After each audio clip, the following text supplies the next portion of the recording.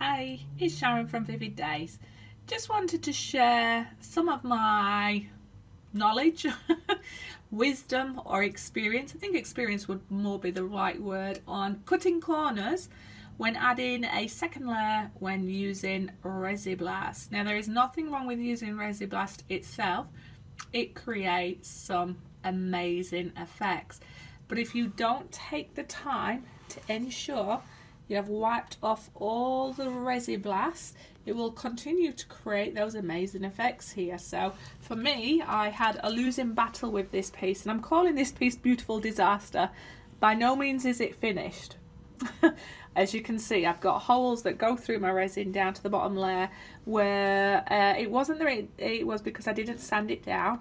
It's because the residue of Resi-Blast was still on top and I thought I'd cleaned it. I worked with it quickly, but I wasn't thorough enough.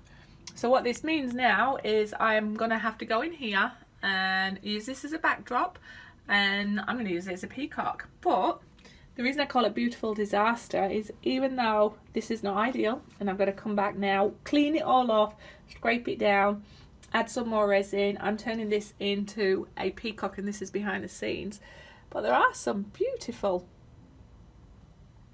effects that's coming here uh, with the resin blast and you can obviously see the glitter and everything below. So yes, my hot tip to you is do not cut corners the importance of preparation and taking the time to remove any excess Resi-Blast is important. Resi-Blast itself is amazing. Nothing wrong with that. It's just how you apply it if you need a second coat or to cover up a previous piece of work. Cutting corners will end up wasting resin and wasting time. So yeah. Anyway, I look forward to showing you how I transform this piece into a peacock. So watch out for this video coming to a YouTube channel near you.